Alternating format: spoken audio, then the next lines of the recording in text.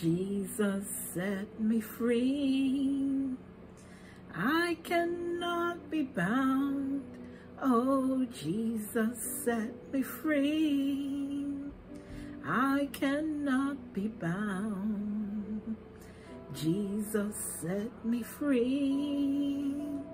I cannot be bound.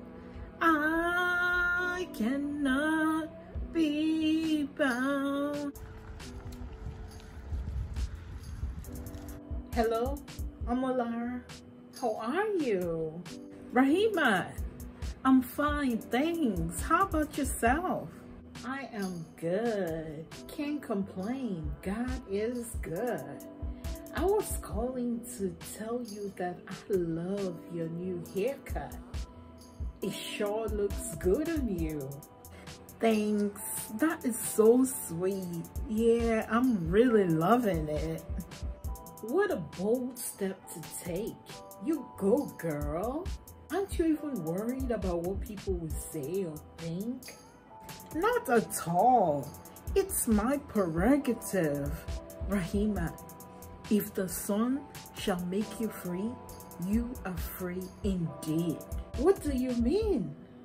I am free from thinking I have to conform to what everybody else is doing. Free from trying to keep up with the Joneses.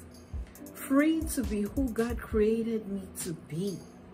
Free to be me and not what others think I should be. It must be a liberating feeling. Absolutely. There's a saying that to thyself be true. I'm being true to myself and living my life doing what gives me inner peace. I am no longer seeking man's approval, but God's approval. I have come to a point that I'm like, you do you and I do me. oh, really? Raheemat, there comes a time when it's okay to disagree as long as it's done in peace. I am really feeling you, girlfriend you have really given me some food for thought. I need to be free myself.